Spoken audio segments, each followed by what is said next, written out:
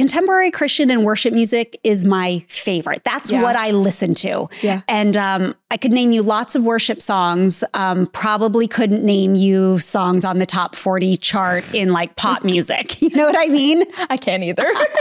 And I probably started listening to contemporary Christian maybe like 15 or 20 years ago. Like at that time, I didn't even know that category of music existed, honestly. And then the Mm. First time I started going to church and God became a part of my life, Yeah. someone introduced me to contemporary Christian. And I was like, wait, what? Mm. This is amazing. And So this is all the type, the sounds that I love in music, but the lyrics are uplifting and they they talk about God and they remind me of his character and all the goodness in life.